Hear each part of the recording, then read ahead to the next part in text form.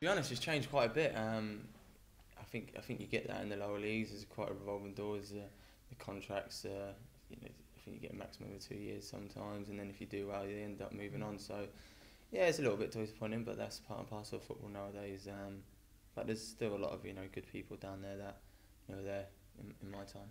Yeah, no, no, obviously the, the boys are willing the boys to, to do well every, every single game because there's not one bad person in this team. Everyone wants everyone to do well.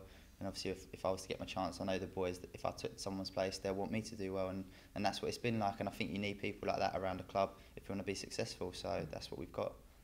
How long, I know you've been back to Whaddon Road a few times um, in your own time. Have you been Yeah. back many times as a manager for competitive games? Um, no, we had a friendly, I think, um, for Burnley in one pre-season, and we had obviously the one this season.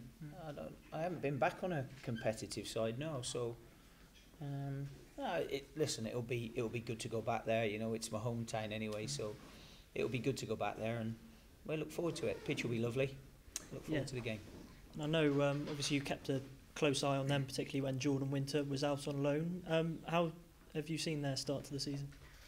Well, they started off very, very well, didn't they? And then all of a sudden they had a little bit of a sticky patch. But you know, every side's going to go through that. So um, I think they've picked back up again, and uh, I think they've had a really good start to the season. So I'm sure they'll be pretty contented.